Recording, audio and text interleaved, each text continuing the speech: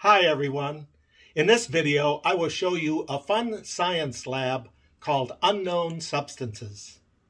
You probably already have most of the substances at home. I'll show the names of the substances at the end of this video.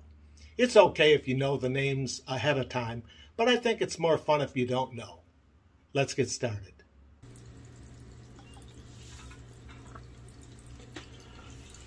The first thing is to label the containers.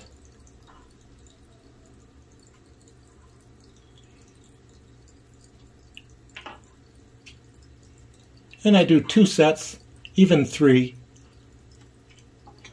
One for the dish that I work out of.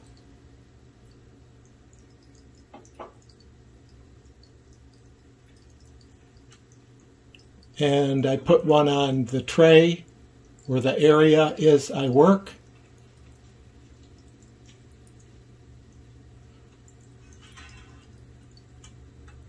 I also put a third set on the actual substances. And notice there's spoons in each container because I don't want to contaminate each substance. I want to keep that very pure. It's the hardest thing to do for students.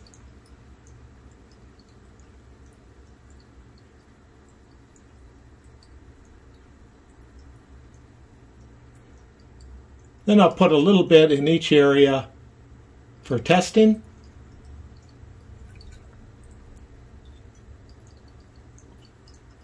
And again, they might guess these substances, but I always tell them they could be poison. In fact, one I think is poison.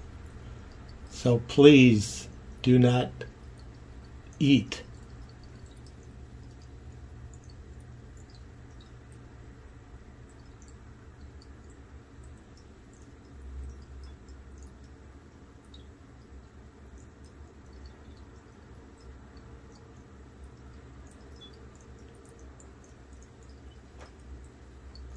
And the first test is the looking test. A microscope would be cool, but uh, these hand lenses work fine. And then on a worksheet, we will write what we see, try to draw a picture.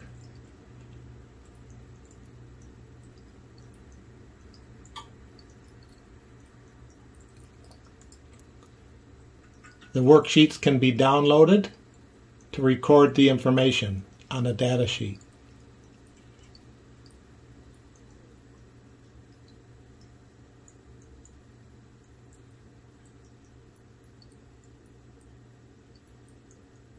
And A and B are crystallized, kind of different than C and D. C and D are very smooth. I have the students draw a picture on their worksheet and it's hard to draw a picture of a smooth, so I tell them use a shape like a circle. For the crystals, I would make one a triangle and one a square. And the second test is the acid test, and for the acid we use vinegar. It's a mild acid. And a few drops on each and do the same as the magnification test. Do a little bit of each and then record what you see on your data sheet. No color change. The crystals kind of melt. I can mix it a little bit.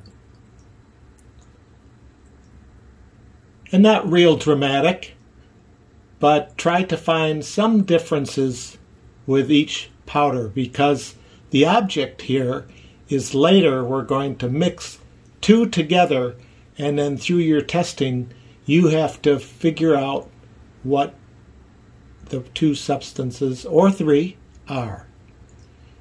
And not much difference it kind of melts a little more slowly.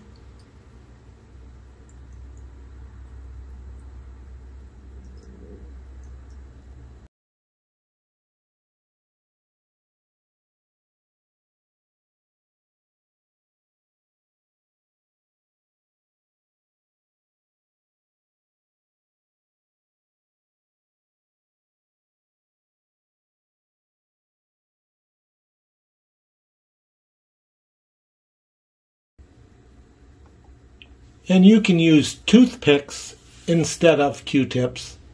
Q-tips were just handy and available.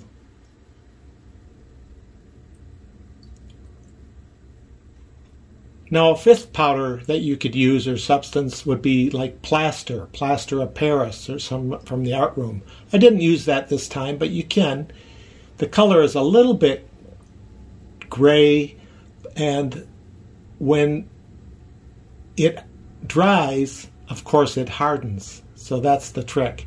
Because I do this in a one day lab, I don't use plaster of Paris because it takes 24 hours for it to dry.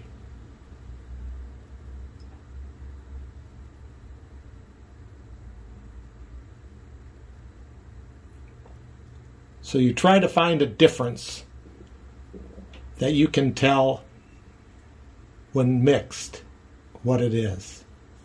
So the next test, the third test we do, is an iodine test. And the iodine can be diluted a lot. You don't need a lot of iodine. And I just add water.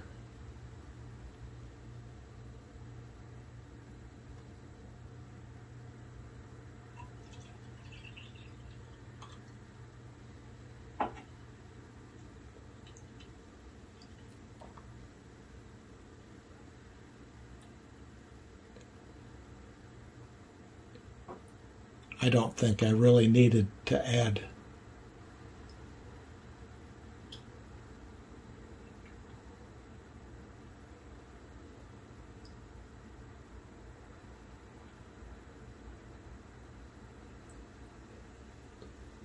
So no color change, just a little yellow, reddish yellow, and that's the color of the iodine.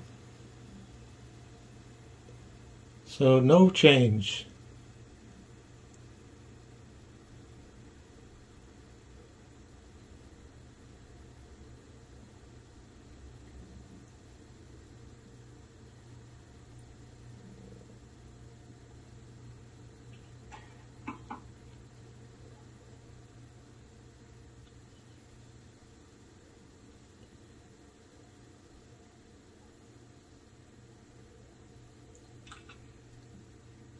B seems to be the same, no change.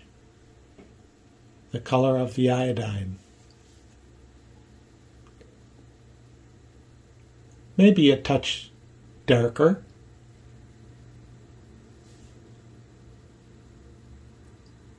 If one wanted to note that, that would be good. And it appears to be the same color as the iodine, but a little darker.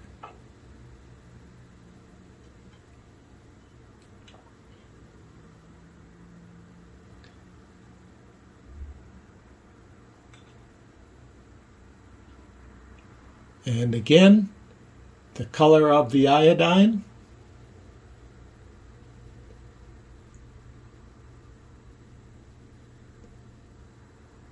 and it looks similar to B.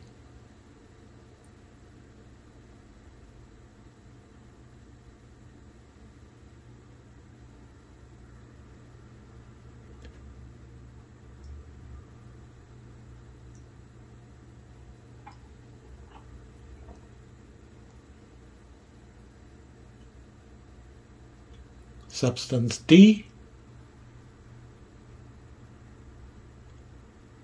Now that's different. It's black.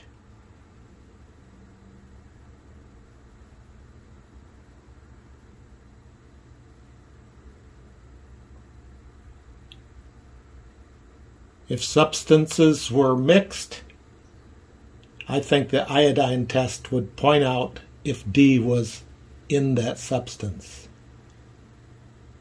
So I mixed some together. And let's take a look at the three tests. I don't really see any crystals. There could be some if I took a real close look. I'd have to stir it around.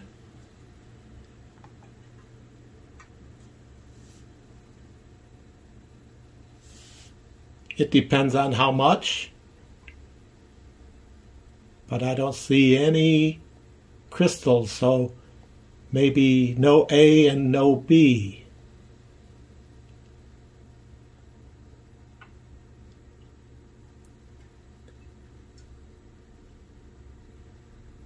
Let's do the acid test or vinegar.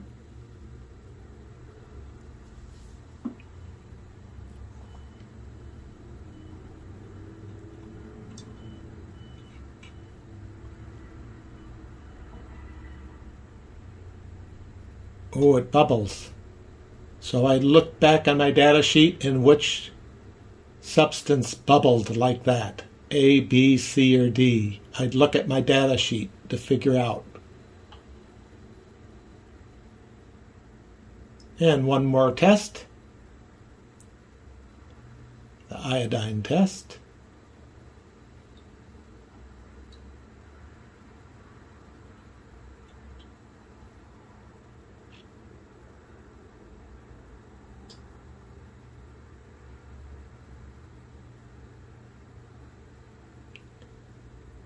So I guess we know substance D is in there. And it bubbled. So from the data sheet, I'm sure you could figure out substance C and D are mixed together. Now you can try it again and try to mix two different other substances. There's also a heat test and fire. I didn't do that for this lab, and I don't usually do it because unless you have a proper lab, it can be very dangerous because there's fire and an open flame. But I would test each one in a packet of aluminum foil I would make and hold it over a flame. And that one, substance A, stands out above all others because of the smell and the coloring.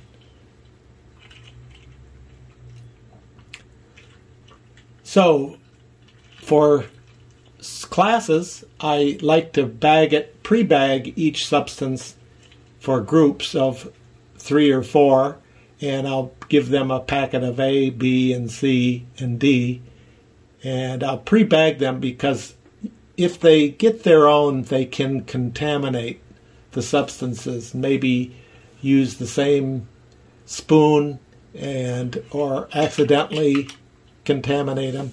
But here are the substances. So I'm sure everyone guesses sugar. Um, I don't want them to know sugar because they want to eat it. That's the one I consider poison. Salt,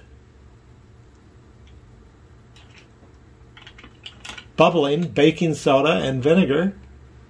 And starch always turns black. So if you put iodine sample on potato chips, or anything starch, it would turn black.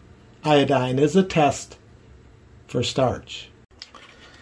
Here's the unknown substances data sheet, and we would fill it out like this substance A, B, C, and D, and the mixture later. Hand lens, what did we see under the hand lens? Students can draw shapes on the board and they might be different shapes. I like to settle for a triangle. Then B, also crystally similar, but more cube or square.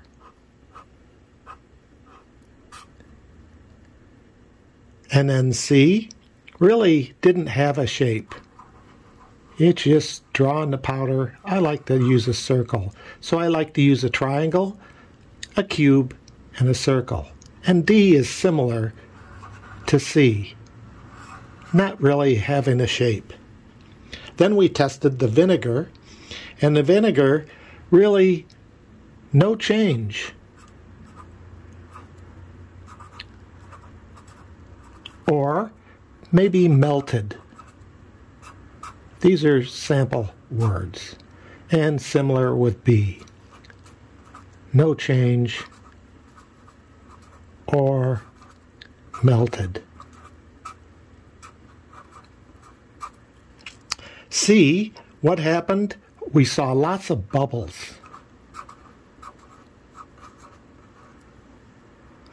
And color, no change. We just say white. And D, no change.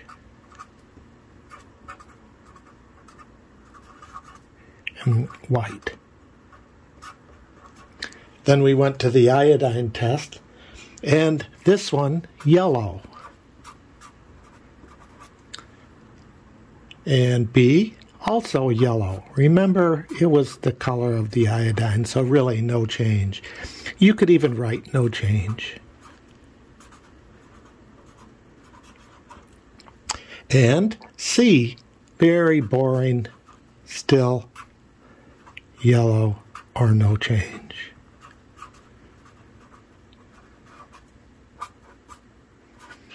And D, that was different. That was black. So we can see the chart here. And then we can mix some powders and check and go back to our test to see what happens, to see what is, is inside. Heat test we didn't do. I can tell you that A does under fire in a foil will bubble and smell good.